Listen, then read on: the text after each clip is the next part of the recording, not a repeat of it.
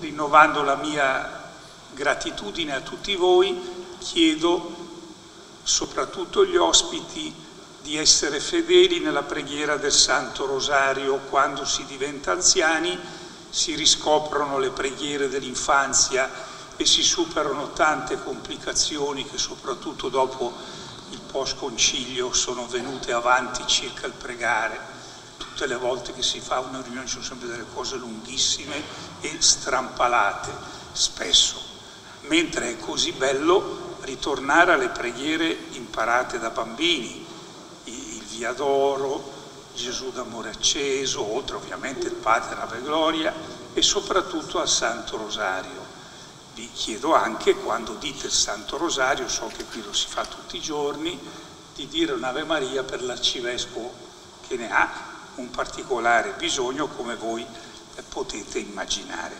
Ritornare, ritornare alla preghiera semplice nell'età avanzata, i giovani facciano altro se lo fanno con cuore retto come fanno, ma per noi anziani è più semplice e anche, secondo me, raggiunge più facilmente la, le vette del cielo. Rinnovo anche il mio augurio a questa città, una città a cui ovviamente sono molto legato, una realtà che ha una grande storia che non deve essere trascurata nel presente, che deve imparare ad affrontare questo cambiamento d'epoca così difficile per tutti, immettendo nel circuito dell'ambrosianità e attraverso di esso di tutta quanta la realtà del Paese quegli elementi peculiari che hanno eh, caratterizzato la sua storia e la sua vita, famiglia e lavoro. Cosa saremmo noi se i nostri padri non avessero avuto a cuore famiglia, lavoro, educazione dei figli? Queste tre cose non sono passate per quanto uno possa illudersi che la libertà ti può consentire tutto, queste tre cose nel rispetto del diritto, effettivo diritto di tutti, non sono passate. Perché i nostri figli di mezza età hanno perduto spesso la strada della Chiesa? Perché i nostri giovani hanno perduto la strada dei nostri oratori, delle nostre associazioni, dei nostri movimenti?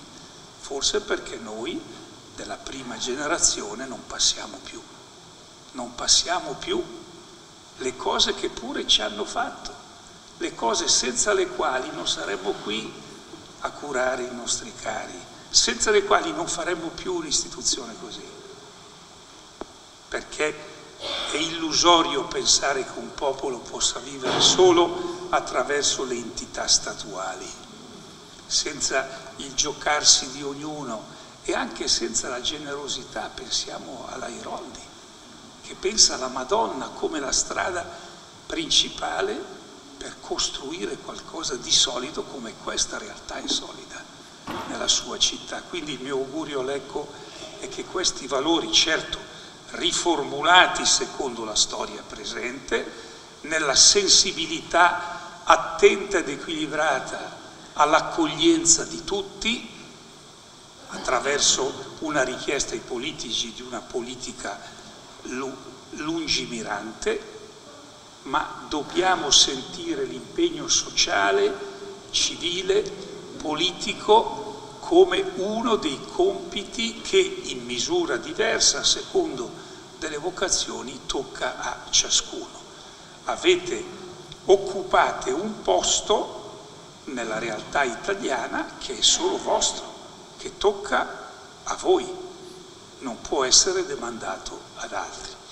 Credo che voglio dire queste cose da questo luogo, perché da questo luogo si può, ho detto prima, capire cosa è una civiltà, cioè una, una vita di amicizia reale tra tutti coloro che abitano una realtà indipendentemente dalle diverse posizioni che possono avere, ma sono chiamati a stare insieme, sono chiamati a vivere insieme.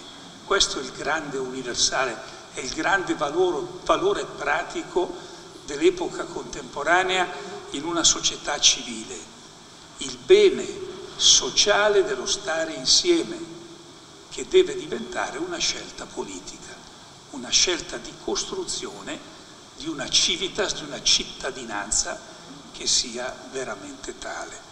Grazie di cuore a tutti e riceviamo ora la benedizione della Trinità. Ecco, uno, due, tre, via. Ecco, ecco qua. Applauso. Eh.